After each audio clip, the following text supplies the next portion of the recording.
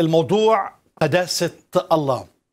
هذا الموضوع يمكن بنتكلم عنه من نواحي متعددة وكثير حتى من الأديان بيقولوا الله قدوس. لكن ما هو مفهوم القداسة؟ إيه هو تعريف القداسة من الفكر الكتابي في الكتاب المقدس؟ دكتور فريد. آه، مما أعلنه الله عن ذاته ومما ردده من عرفوا الله في الكتاب المقدس. نفهم أن الله قدوس تعني الله متفرد في صفاته. فهو متفرد في الطهارة المطلقة. ومتفرد في الكمال المطلق. ومتفرد في الجمال أي انسجام كل صفاته معا.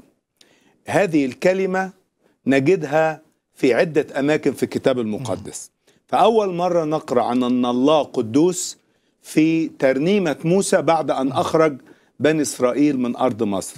لما رنموا لله وقالوا له من مثلك معتزا في القداسة؟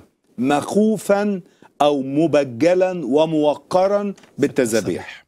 ثم نقرأ أيضا عن حنة أم صمويل عندما صلت ورنمت أنها قالت ليس قدوس مثل الرب. ثم نقرأ في مزمور 99 آه هذه الكلمة الجميلة عندما تقول أيضا عن الرب قدوس هو.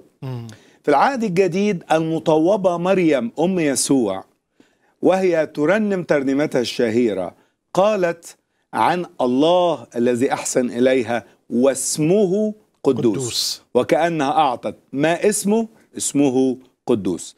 فكلمة القداسة تعني تفرده هو مختلف عن كل الكائنات الأخرى.